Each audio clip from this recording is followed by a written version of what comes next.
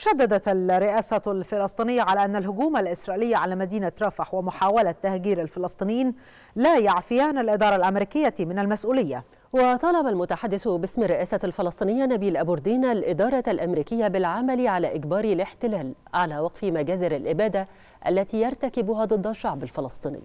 معتبرا أن التزامن غير المسبوق لمستوى التصعيد الإسرائيلي مع شن حملة للمساس بالقرار الوطني الفلسطيني المستقل.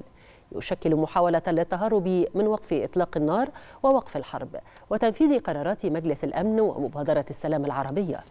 طلب أبوردين المجتمع الدولي بالعمل على وقف العدوان الإسرائيلي الغاشم على غزة.